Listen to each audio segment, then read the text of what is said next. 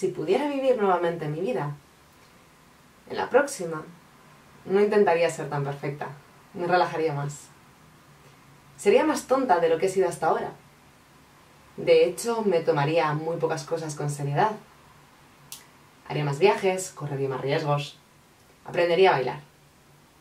Pero sobre todo, tendría más problemas reales y menos imaginarios. Lo digo porque yo fui una de esas personas que, que vivió sensatamente su vida.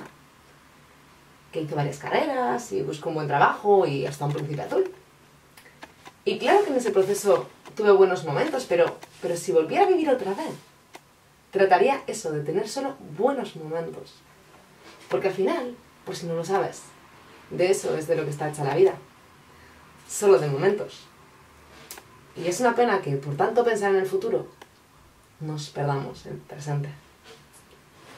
Lo digo también porque yo era una de esas personas que, que no viajaba si no tenía en la maleta o la mochila metidas las planchas del pelo, la toalla, el bikini, el jersey, una batidora y, y tres pasaportes.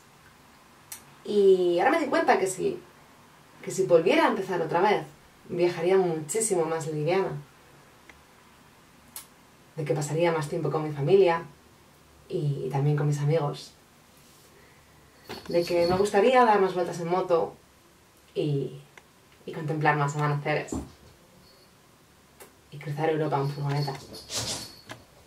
Pero eso sería solo si, si tuviera otra vez la vida por delante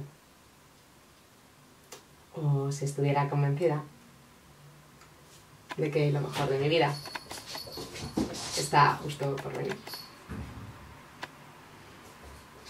A todos y todas los que apoyáis Viaja mi mochila de cualquiera de, de sus formas, muchísimas gracias. Está, de, de verdad me, me dejáis sin palabras.